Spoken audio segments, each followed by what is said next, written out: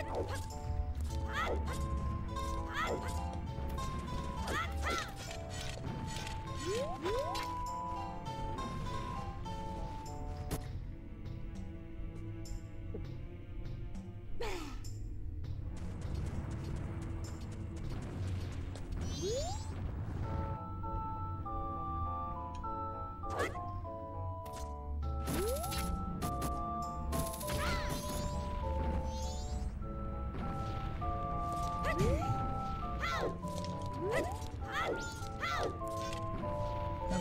fun trick. Starts out uh, easy enough. Rolls him forward. You want to target, and then you want to side hop here when you get to the top, and before you hit the switch. Now for the second side hop, you have one, one, two, three frames. Hold right and shield to end the side hop to max it out. Shield turn left. You want negative 27 on the input. That's to give you the top point. I did forget to mention. It's to be easy to notice if you're too far or not, because if you get a fourth frame, then you're to be down on the ramp pretty far, it's to be obvious, and then a fifth, fifth frame is just to fall right off. You're to side hop right off.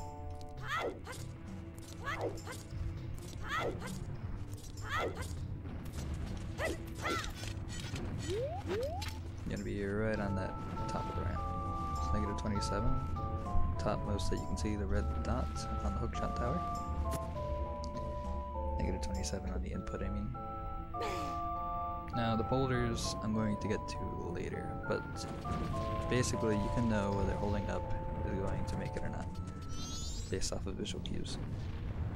When you get up to this wall, do not target immediately upon getting to it. You want to wait half a second, otherwise you might have seen it. If you're not targeting, Tatl is going to go up towards the Beamos, and if you target then, you will target the Beamos.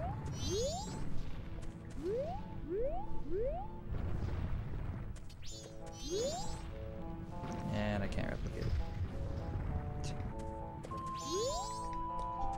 Okay, it's possible. Take my word for it, please, or don't. Up to you. Anyways, you're gonna backflip and hold down until you land. So you're gonna either hear this noise that's coming up, or you're gonna see both hands are gonna be below, behind the black bars. That noise, the landing noise. I'm sure you're familiar with it. You're gonna hold down, target, and hookshot in this frame. You just heard the hookshot clank on this frame. You want the next frame? The first frame that the hookshot tower target hookshotable part is, you know, the red dot is on the hookshotable part. It's like half on, half off through that line. And you just need to hold down after releasing hookshot. The second or third frame, I forget which, will give you the shortest top that'll still make it. That would be best, there's less airtime in that case. Now time for the boulders.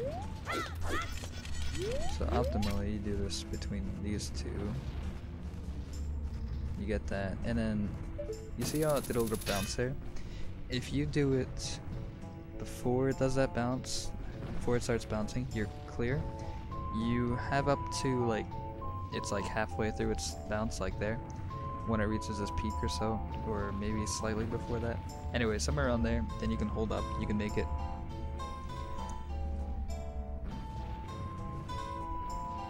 For the other boulder, it's a little different. You have basically until like there, when it's like starting to roll off. You have a lot more frames. I already lost track of which boulder is which. Okay. These boulders are interesting. Just for the sake of knowledge. Nice. They're on practically the set, same 10 second timer. Nice. So that one actually this one that spawns here goes down much further than the other one. So it's going, there it's going, going, going, going, going. Finally broke.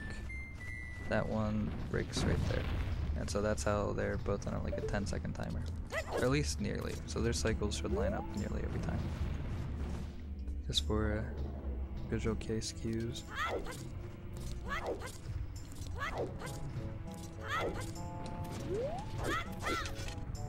Okay, I think I pops up somehow there.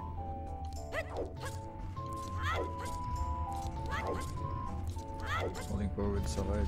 That's why I recommend targeting up early. No way, it just cuts that out. Uh, it was too late.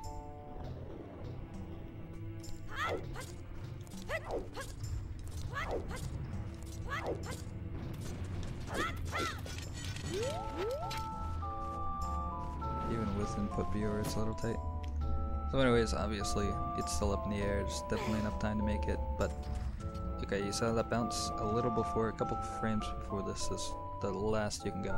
Otherwise, you're going to have to stop and wait for the next boulder like this. Just make sure to keep holding up. I would probably wait just to make sure. Now, between boulders, you have varying amounts of time for, you know, first cycle or second cycle. First cycle is a lot tighter, and you want to make sure you go when you can still see the boulder. Not when it like first lands, but after it starts rolling to the left. It depends on your where exactly you first side hopped, whether you can see it at first or not. But it should be pretty clear whether or not it's rolling and past you or not. The first turn you can see it while it's rolling, you can jump, you can backflip. As far as the second one, it's basically free anytime you want to go. Okay, so that's the easy cycle. So the next one is a tight cycle. Just want to demonstrate that it is possible. At least I think it is. You have between like this frame where you can first see it rolling and until you can't see it anymore. So what that's like two frames? Definitely with pause buffering I guess. Okay, that's the easy cycle. Okay, I just landed. My timing might be completely off, brain dead. Okay, so like this you can target. You can backflip on this frame. Okay, to the desired frame. Into there. You gotta be wary about if the hook shot like hits the boulder. That's why you have to be wary about when to do the things. When to do the backflip specifically. Alright, that's all I got. Good luck, have fun. Should be easier than the other one. I hope.